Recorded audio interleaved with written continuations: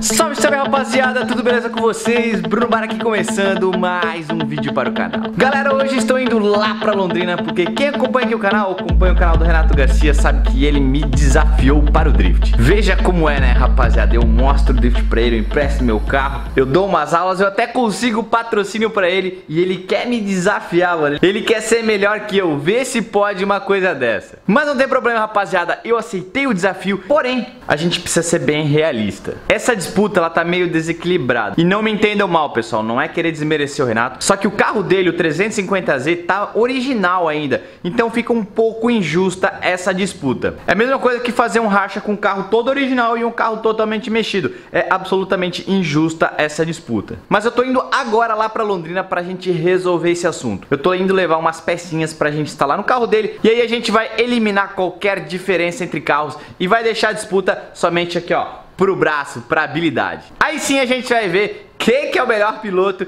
e quem que manda mais no drift. Mas rapaziada, o vídeo de hoje não é sobre isso. O vídeo de hoje eu quero mostrar uma coisa muito, muito importante pra vocês. Vocês sabem que eu tô somente com o 350Z agora, ele tá lá em São Paulo turbinando, ou seja, eu tô sem nenhum carro legal aqui pra dar os rolezinhos. Porém, rapaziada, eu já comprei o motor desse carro, isso mesmo, o motor eu já comprei, o carro ainda não, mas o motor já tá chegando e eu quero revelar essa novidade pra vocês. Só que agora, galera, a gente tem 12 horas de estrada, é meio longe Londrina aqui da minha cidade, então não posso me atrasar, vamos direto pegar a estrada e quando eu chegar lá, a gente fala mais sobre esse assunto. Beleza? Bora lá então!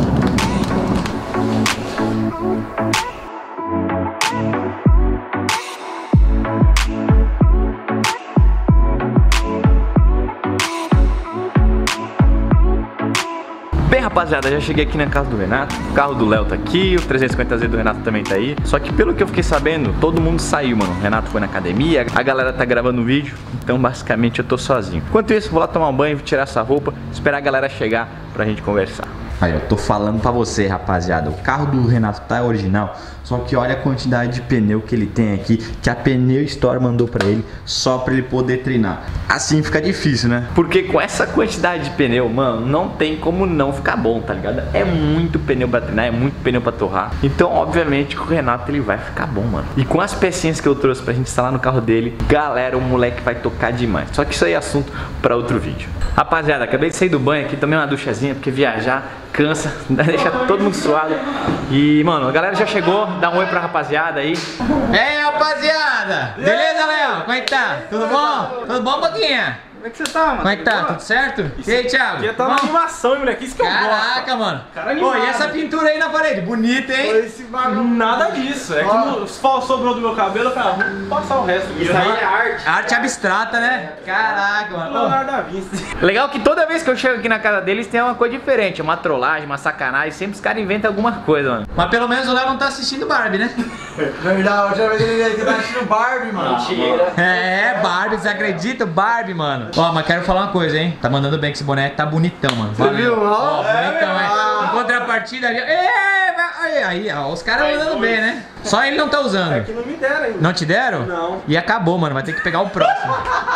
O próximo lote eu te dou, fechou? Tá bom, tá bom. Fechou. Será, então. E aí, Renato? E aí nada. Mano, por que, mano? eu vim Você aqui chegou? pra conversar contigo, porque tem um É, papo sério, Eu mano. também tenho um papo sério com você, mano. Mano, que negócio é esse desafio? É, ó, eu tava te desafiando nos meus vídeos, agora pessoalmente você tá na minha frente, Vai me eu te desafio no drift. Mas relaxa, não vai ser hoje. Eu já falei, o Bruno, ele faz campeonato, não vai em campeonato, vai 5, 6 mil pessoas. Eu vou chegar na frente de 6 mil pessoas, você não vai nem me ver, Bar, você não vai nem me ver. Vou tomar o microfone do cara, na frente de 6 mil, assim, que é multidão. Bruno Bar, eu, Renato Garcia, te desafio no drift agora na frente de todo mundo. E aí você vai ter que. Você vai ser obrigado a correr comigo, mano. Mano, eu, ó, ele falou, tá falado, eu quero ver isso acontecer, mano. No meio do campeonato. Se eu perder, perdi, mas eu tentei, mano. Eu quero ver só ele chegar com 350Z sem ninguém ver, né, mano? O bagulho não é barulhento, não chama atenção, mas tudo bem. Vou aceitar o desafio.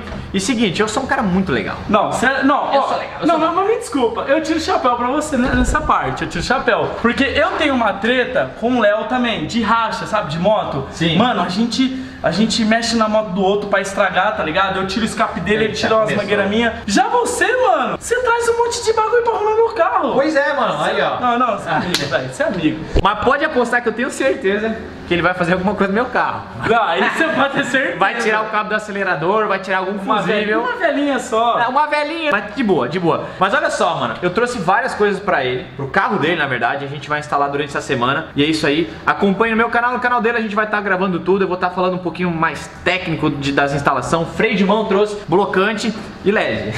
Muita gente tá confundindo que a gente realmente tá tretado de verdade.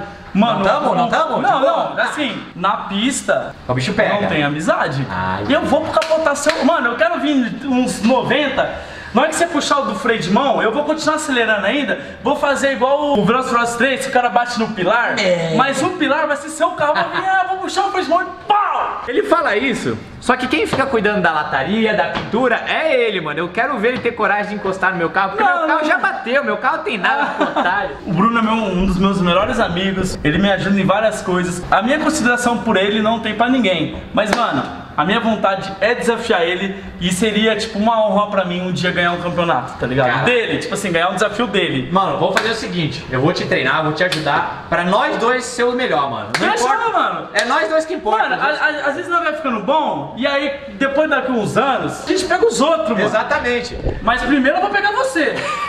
Galera, só pra vocês entenderem, se a gente se desafiar um outro, a gente for brigando um com o outro, nós dois ao mesmo tempo vamos melhorando. Evoluindo. A, a gente vai evoluindo junto. Então isso é importante porque daí, mano, não vai ter pra ninguém. A gente vai desafiar todo mundo, mano. Todo mundo pode vir aí, a gente vai desafiar Fortuna, geral. Greg Iga, a gente vai pegar os seis, mano. A gente é rival, mas quando se trata dos outros, a gente é equipe. Aí, fechou então.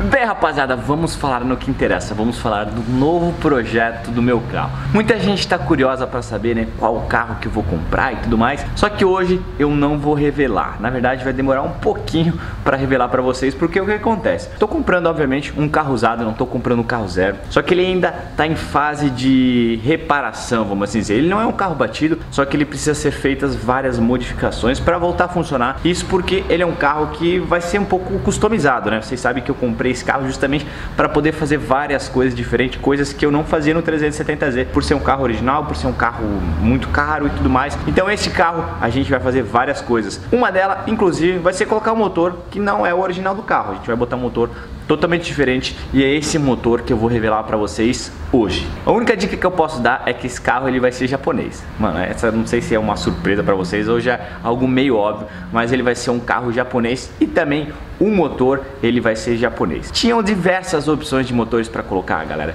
E é importante que vocês entendam isso. Essa foi uma decisão muito racional. O meu carro, ele vai ter um motor 1JZ, que é o mesmo motor que o Igor lá do BR Clube usa no carro dele. Eu poderia estar colocando diversos outros motores, como o RB26, que equipa o GTR R34, poderia estar colocando um 2JZ Supra. Só que qual que é a grande questão? Por que, que eu escolhi um JZ? Primeiro pelo custo. O motor 1JZ ele é um motor muito mais barato do que esses outros que eu falei. Só que mesmo assim ele é um motor com uma capacidade de potência muito boa. Ou seja, é um motor que é barato, mas com ele dá para chegar numa cavalaria muito boa, dá para deixar o carro muito forte. Uma outra questão muito importante é a manutenção desses motores. Praticamente aqui no Brasil, ninguém tem motor 2JZ ou RB26. O 2JZ a gente até encontra, assim, tem alguns carros que usam aqui, só que o RB26 é um motor muito difícil de encontrar no Brasil, ou seja, é um motor muito difícil de manutenção, quase ninguém sabe mexer, porque não tem motor para mexer. Praticamente quem sabe mexer nesses motores são pessoas que moraram no Japão, que trabalharam oficina lá, que hoje estão morando aqui no Brasil. Em resumo, se eu comprasse um motor desse, eu ia ficar de mãos atadas.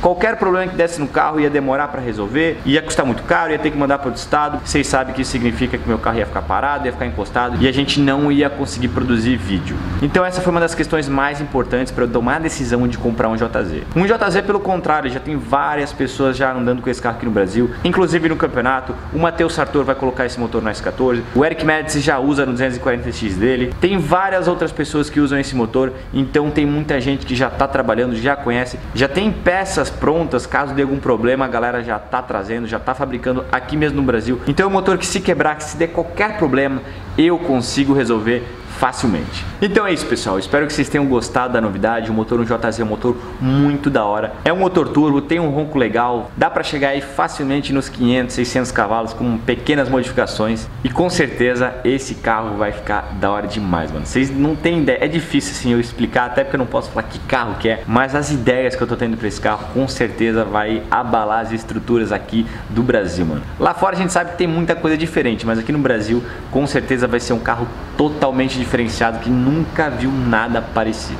Mas é isso, enquanto meu carro não chega, eu acredito que vai demorar dois meses ainda pro carro chegar. É bastante tempo, eu não sei se eu vou aguentar. O meu 350Z tá lá turbinando, a gente tem uma etapa agora final do mês, dia 31 em Belo Horizonte. Mas até lá, galera, eu acho que eu vou roubar o carro do Renato para dar uma voltinha, mano. Pelo menos pedir emprestado, porque tá difícil me aguentar assim sem carro, galera. Sério, tá difícil mesmo. E até um pouco ruim, porque eu vou chegar na etapa, né, na primeira etapa do campeonato meio que frio, sem treinar, sem nada. Então eu preciso dar uma voltinha. Então eu preciso voltar a dirigir, preciso voltar a treinar para já chegar na primeira etapa quente, já com tudo, pra gente conseguir o pódio, que dessa vez, mano, dessa vez não tem pra ninguém. Esse ano, galera, esse ano eu prometo pra vocês que o pódio eu pego, mano. Primeiro lugar eu não sei, mas o pódio a gente chega lá. Então é isso, galera. Eu espero que vocês tenham gostado do vídeo de hoje. Se vocês gostaram, já sabe, deixa aquele like pra fortalecer. E se vocês não são inscritos no canal, já sabe, né, rapaziada? Se inscreve aqui, ativa as notificações e fica ligado de tudo. Então é isso. Eu sou o Bruno Barro, vou ficando por aqui. Fui!